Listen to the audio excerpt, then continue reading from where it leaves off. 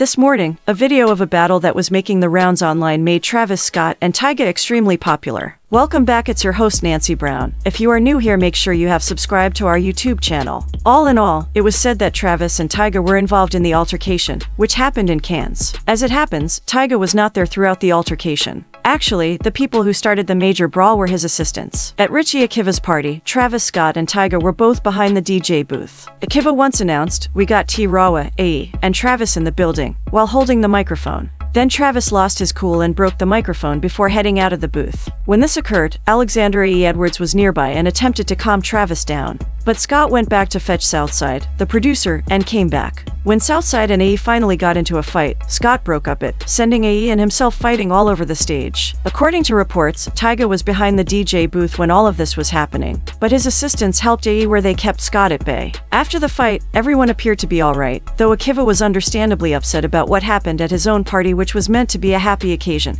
but turned violent. Tyga and AE stayed at the party until the wee hours of the morning. The woman knows what happened.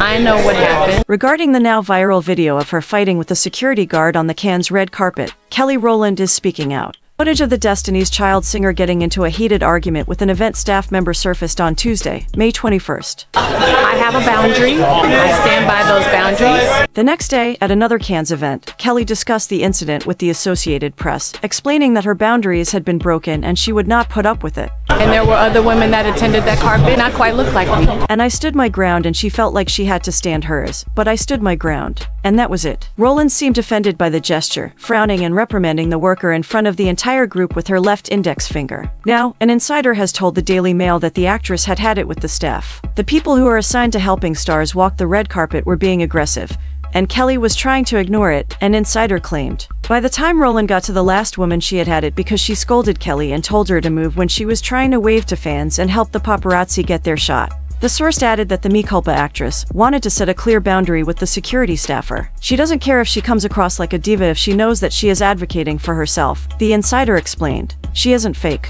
Earlier this year, the Bootylicious singer was accused of acting like a diva after she left the Today Show set because the dressing rooms weren't up to par. Rita Ora, a guest, then filled in as co-host at the last minute. After 28 years of knowing her, Kelly Rowland remains one of the kindest, most amiable humans I have ever met and have had the blessing to represent. Yvette Noel-Schure told Entertainment Tonight in a statement Tuesday. Last week, Page Six said that the Survivor singer had left co-anchor Hoda Kotb behind, claiming that her dressing room wasn't up to par. Kelly and her team were not happy. They did not like the dressing room, so they decided to pull her off the show, leaving Kotb without a guest host for the 10 a.m. hour, a source familiar with the situation told us. Employees of Today were shocked by Rowland's abrupt exit because she was beloved by the audience, and was scheduled to co-host an hour-long segment with the biggest hype woman, Hoda Kotb. At the final minute, 43-year-old Rowland's replacement, British singer Rita Ora acknowledged that she had only a few minutes to prepare. I have great love and admiration for Kelly Rowland. Mm -hmm. I adore her. In an attempt to diffuse the tension around Rowland's exit, Kotb, 59, chose to congratulate the artist on Tuesday's Today Show.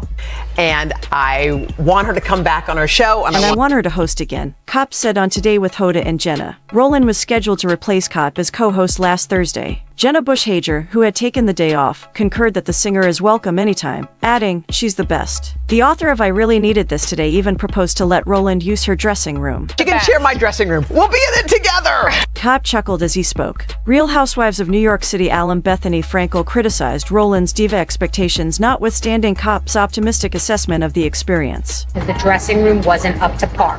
She was co-hosting with Hoda. Kelly is correct that the dressing rooms are small, the catering is terrible, and the makeup area is shared. But Bethenny Frankel quickly corrected her and said that none of that was important. That is not about fancy dressing rooms. Some fans on the internet are pointing out that Frankel referred to the show as an institution in entertainment, and stated it was an honor to simply be there with Hoda before concluding that it was not the time for diva expectations. The moment for diva expectations.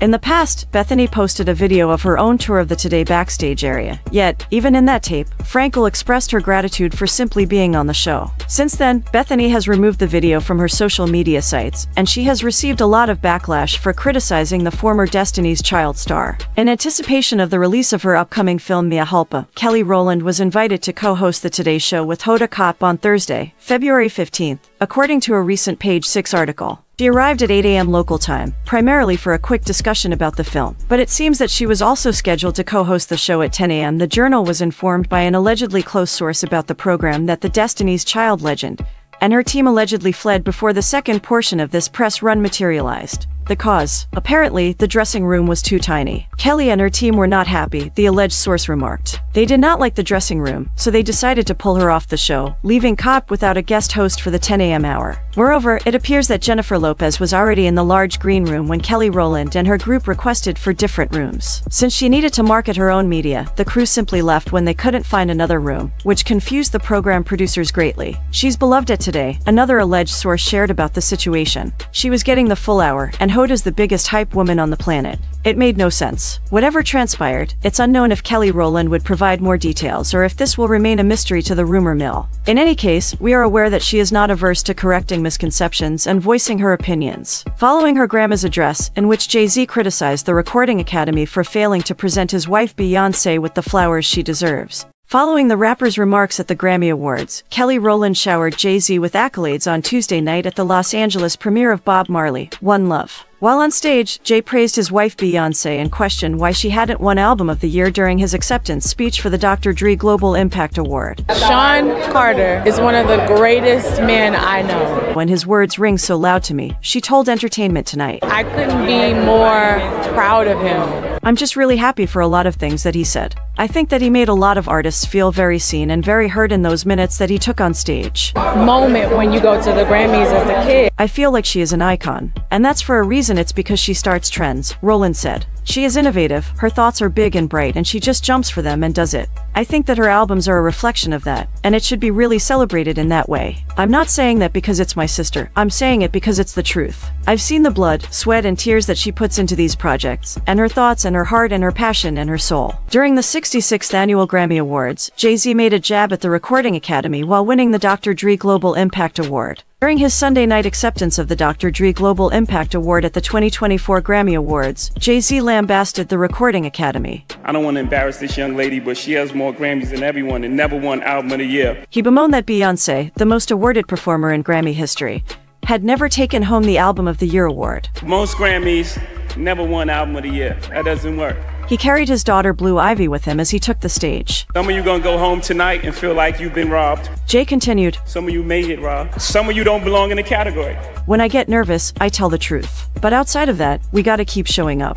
And forget the Grammys for a second. Um, just in life, you gotta keep showing up. You gotta just keep showing up until they give you those accolades you feel you deserve until they call you chairman, until they call you a genius, until they call you the greatest of all time. You feel me. Thank you. Over her career, Beyonce has six times contended for Album of the Year, but she has never taken home the trophy. He celebrated the victory by taking a drink from his Grammy Award after leaving the stage.